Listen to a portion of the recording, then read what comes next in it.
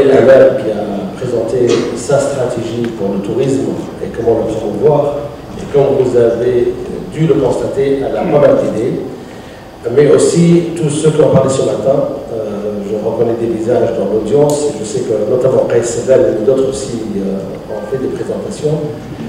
Euh, évidemment, enfin j'ai eu le, plaisir de les avoir comme étudiants dans un executive MBA il y a, dans ma vie précédente, lorsque j'étais professeur universitaire, mais aussi parce qu'ils m'ont briefé un peu sur les messages qu'ils ont portés, et c'est des messages que je partage pleinement.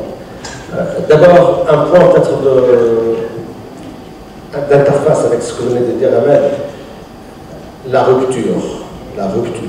La rupture, tu as cité la technologie, et ce, dont on a besoin, c'est une innovation de rupture. On n'est pas dans l'incrémental. On n'est pas dans le. On va améliorer un petit peu par ici, par là. On ne va pas colmater les brèches. On ne va pas faire de la cosmétique. Euh, tu as dit qu'on parle du tourisme depuis de nombreuses années. Où est-ce que l'on est dans le tourisme? On n'a pas avancé tant que ça. Ou peut-être qu'on n'a pas avancé du tout. Et les professionnels le savent. Alors qu'aujourd'hui, le tourisme ne se vend pas seulement par agence de voyage, par tour opérateur, par le NTT et ses équivalents, il se vend aussi sur les canaux digitaux qu'ils s'appellent tablette, qu'ils s'appellent smartphone, qu'ils s'appellent site de référence, qu'ils s'appellent euh, agence de voyage en ligne. Donc il y a toujours la dimension technologique pour ces supports-là, de marketing, de vente, de commercialisation, etc. Est-ce qu'on est présent en tant que destination touristique? Et partout, et quel que soit le device, quel que soit le, canal d'accès et de communication. Il y a des choses qui ont été faites, je ne dis pas le contraire. Travel to Do, qui existe depuis de nombreuses années, une success story, et d'autres le prouvent, qu'il y a eu des choses de faites. Le tableau n'est pas noirâtre, mais on peut aller plus si on a l'ambition, si on a la vision, et si, comme disait Abel euh, il y a un instant, we should walk the talk. Les discours, c'est bien, la division, c'est bien, mais maintenant, c'est l'action, l'engèse. Et, donc, euh, nous, pensons, nous estimons, c'est notre volonté et celle de notre chef du gouvernement, l'action. Action results. Euh, donc, les discours, ok, il faut avoir cette ambition, etc., mais il faut passer à l'action. Et, l'action est multiple. Euh, tu parlais de la diversification. Comment passer du tourisme de masse vers, from mass production to mass customization, vers le tourisme personnalisé par rapport aux besoins du touriste, quel genre de package, quel genre de mix, quel, etc. Et ça se passe évidemment à travers quelques clics sur une souris, sur une tablette ou sur un, smartphone. Donc évidemment, euh, moi je, contraste ce que j'ai vu notamment dans un pays très touristique qui s'appelle l'Espagne. J'ai été avec quelques-uns d'entre vous d'ailleurs au premier congrès technologique à Barcelone fin février. Il y avait 65 000 congressistes. C'est comme si on déplace une ville entière pendant une semaine à Barcelone pour un congrès.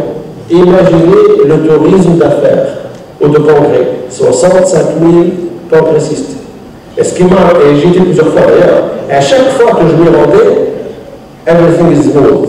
Ça, marche comme une lettre à la poste. Comme une lettre à la poste. Malgré les 65 000 participants à congrès. Et dès qu'on est arrivé à Barcelone, à l'aéroport, comme on allait chercher son bagage autour du tapis de bagage, on avait à côté tout le matériel de la conférence. On avait le badge avec le QR code. Donc tout, est personnalisé avec ce code euh, électronique, le QR code, et on, a le matériel, c'est le matériel, c'est même pas un CD, c'est en fait une clé USB qu'on remet où il y a tout ce qu'il faut pour la semaine de présentation, de visite, de démonstration.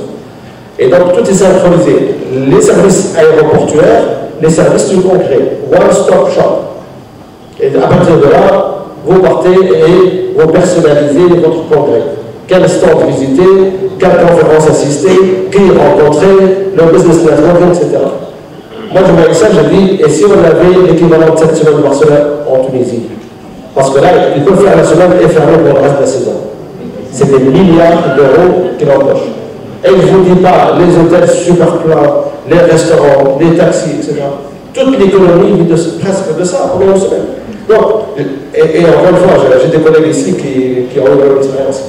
Lorsque je dis le, mass customization, euh, passer du tourisme de masse vers le tourisme personnalisé, voici un petit exemple que j'ai vécu il y a deux mois.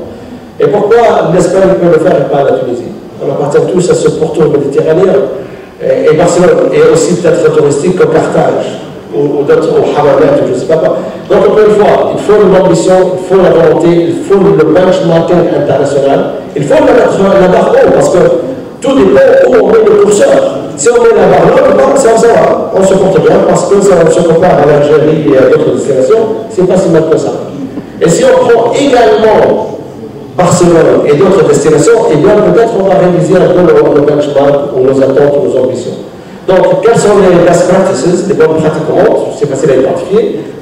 Qu'est-ce qu'on va faire de ce, secteur touristique? Et lorsqu'on parle de e-tourisme, tenez-vous bien, nous avons 15% de contribution au PIB.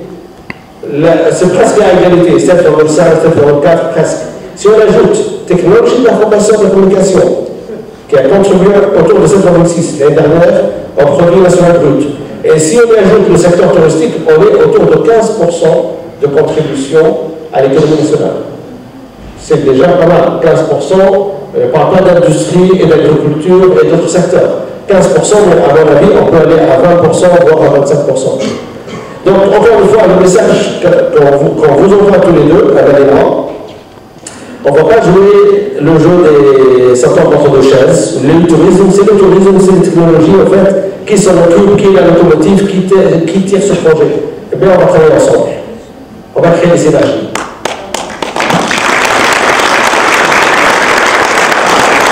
On ne veut pas que ça soit cloisonné. On ne veut pas travailler sous forme de silo on veut que les, murs qui existent entre des départements ministère tombent et on va travailler ensemble. Il y a deux jours, j'ai eu le, plaisir d'avoir euh, Nejla Harouj, notre ministre du Commerce, avec moi, pour la clôture d'une conférence nationale sur le commerce électronique.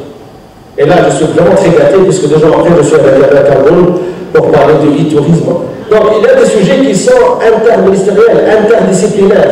Et donc, plutôt de, de renvoyer la balle vers l'autre, de dire ben, on va prendre le, taureau par les cornes, on va s'y atteler. il y a le tourisme, il y a le métier, il y a le secteur économique, mais il y a aussi les technologies de l'information et de la communication comme un vecteur de développement. Comme un vecteur, it's an enabler, a strategic business enabler. Comment peut-on tirer profit de ce vecteur de développement qui s'appelle les de l'information et de la communication? Et ce matin, nous avons eu des exposés sur le big data, sur le Customer Relationship Management. Sur, on, peut, on peut entrer là dans les comment tirer la connaissance, how to derive knowledge from data and information. Comment peut-on justement faire de la technologique, connaître mieux, connaître mieux ceux qui achètent les destinations en Tunisie, comment, etc. Toute cette mine d'or d'informations qui peut améliorer les produits touristiques, on l'a dans les bases de données, on l'a dans les systèmes d'information. Qu'est-ce que l'on fait? Et comment peut-on transformer ces bits and bytes, ces données-là, en connaissances qui alimentent l'ambition, qui alimentent la stratégie et l'action future? Tout le, défi, à mon avis, tout le challenge euh, est là. Voilà, donc je vais être bref parce que donc, euh, le seul obstacle entre vous, le c'est moi, donc je vais le faire bref. Merci pour votre attention et à très bientôt.